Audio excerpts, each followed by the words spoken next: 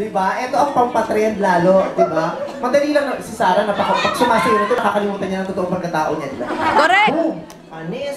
Boom, boom, panis, panis. Panis, boom, boom, panis, panis. Yun lang. Okay. Mas maganda ito kung solo-solo.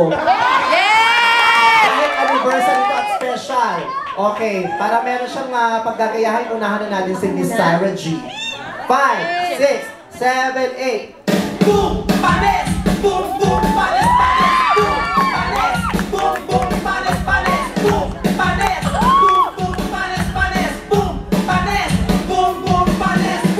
next?